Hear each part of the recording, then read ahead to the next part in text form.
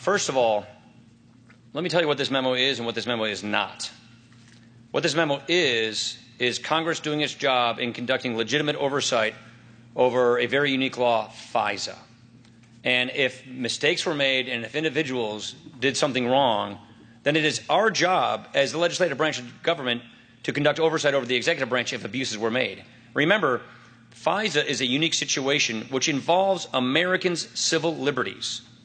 And if American civil liberties were, were abused, then that needs to come to light so that that doesn't happen again. What this is not is an indictment on our institutions of our justice system. This memo is not an indictment of the FBI, of the Department of Justice. Uh, it does not impugn uh, the Mueller investigation or the Deputy Attorney General. What it is is the Congress's legitimate function of oversight to make sure that the FISA process is being used correctly, and that if it wasn't being used correctly, that needs to come to light and people need to be held accountable so that we do not have problems in the, in, again, because this does affect our civil liberties. Carrie.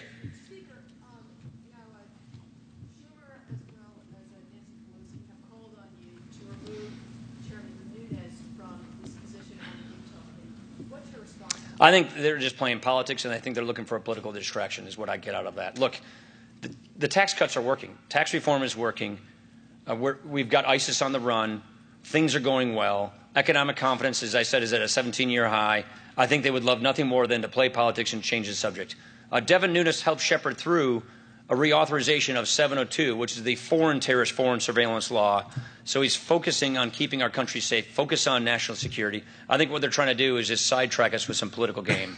It's important that we scrub these memos for any sources and methods that could reveal national security or compromise national security.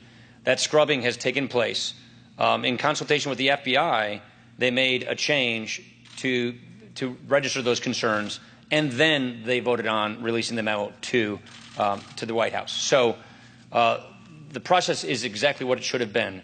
Scrub to make sure that there are no sources and methods being revealed.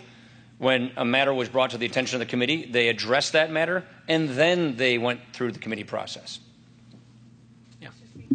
Um, Republicans are traditionally the party of law and order. You have an FBI director saying, please don't release this memo. It is misleading. It is incomplete.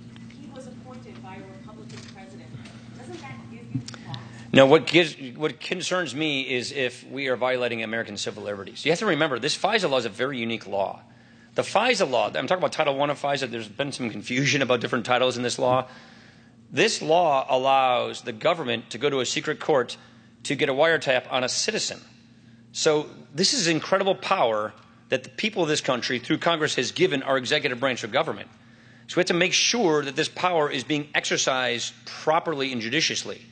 And if there are institutions, or excuse me, if there are instances or individuals who have abused that power, it is our job in Congress to shed light on that, bring transparency and accountability to the process. Let me just say, um, the, the vast, vast, vast majority of the men and women of the FBI are doing a great job. These institutions, the Department of Justice, the FBI, very important institutions for the rule of law, but it's also very important that we guard people's civil liberties as we exercise these institutions.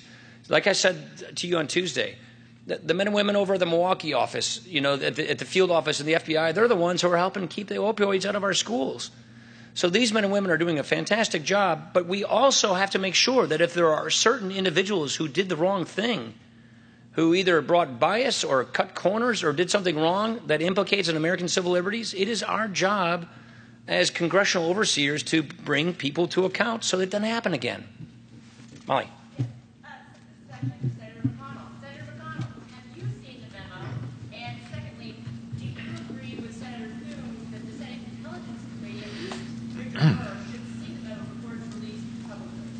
No, I haven't, and I, I don't have any um, suggestions to make to the Speaker. I think he's handling this just right. Last question. Mr.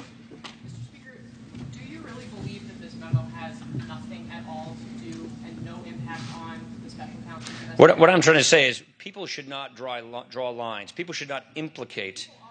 Well, that's what I'm suggesting. People should not be drawing lines. People should not be implicating um, independent issues. This does not implicate the Mueller investigation. This does not implicate the DAG. This is about us holding the system accountable and reviewing whether or not FISA abuses occur. The government has been given extraordinary power over citizens' civil liberties. It is our job to make sure that the process is followed properly.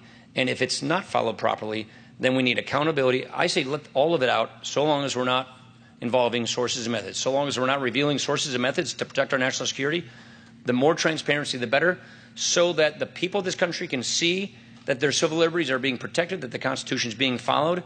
That's why we think sunshine, transparency, and accountability is the correct antidote for this. And that is why the legislative branch of government, this duly elected uh, branch of government, conducts its oversight over the executive branch of government. Thank you very much.